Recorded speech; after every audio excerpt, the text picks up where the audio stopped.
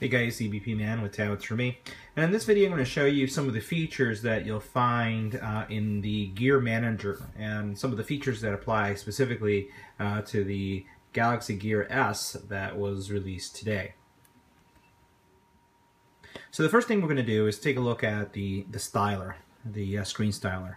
And the screen styler is really going to affect the color of the background, first of all, that you have as you're navigating and going through the menus, which you can modify to any of these colors. Um, so just simply selecting any of these would change the color. I'm not going to change the color. I like black for, for all the backgrounds. So if I go in here, I'll show you what I mean. You see how this has a black background? Uh, if I were to change any of these colors, it would affect um, how that screen looks uh, the background at least. So let's focus on the clocks because that's um, what interests most folks. So um, you have a series of clocks that become um, prevalent in, in the actual Gear S that you can just choose from. Uh, you have, as soon as you choose a, a, a face, the, the watch is going to update automatically. I find that this is kind of one of the more elegant uh, styles that are out there. Um, and all you literally have to do is just choose the watch face that you will like and the watch will change. So as you can see, here's um, one of the watch faces that just um, just got updated. You could choose also uh, some more, I would say, analog um, or in this case digital uh, type watch faces. And because the screen is so large you can actually get um, a lot of detail here. So here you're seeing that the weather you're seeing uh, location as well as the number of steps and if I had any events. Or you can have a you know a full just uh, clock a digital clock in in the uh, in the middle of the screen so there are several different um, faces that you can choose from, and you could download more clocks. And I'm sure that there's going to be um, third-party um, faces that you can add to this to, to make the watch even more interesting. I'm going to go back to the first one to just show you a couple features that you see when working with the home screen. First of all, if I go into um, this clock and I go into settings, uh, there's a couple things I can do. Uh, there are a couple areas in the dial that can be modified. The top in this case that you see right there happens to be uh, the weather, the um, the battery status, and the bottom happens to be the weather.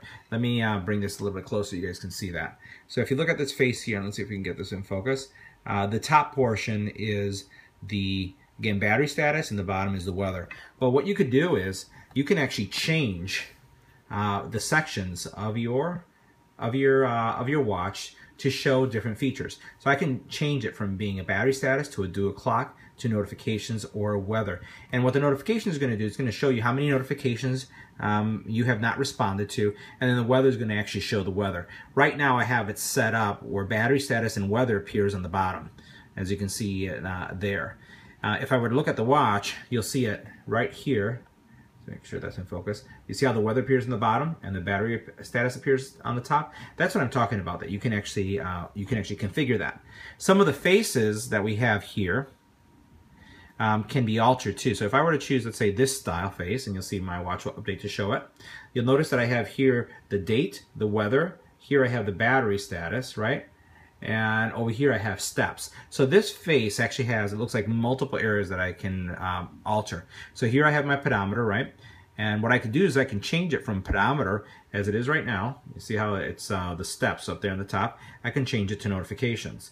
And once I change it to notifications, you'll notice how it changed to zero. I have no notifications present. Or I can change it back uh, to battery status. Um, and we'll go ahead and choose that. Oh, I actually have that on the bottom. So what we're going to do is change notifications back to pedometer. And you'll notice how it changes on the top now uh, to, to the actual steps itself. So in addition to being able to modify or choose different clock faces, you could also experiment and configure them to display different things. So that was the first tip uh, for your Samsung Galaxy Gear S.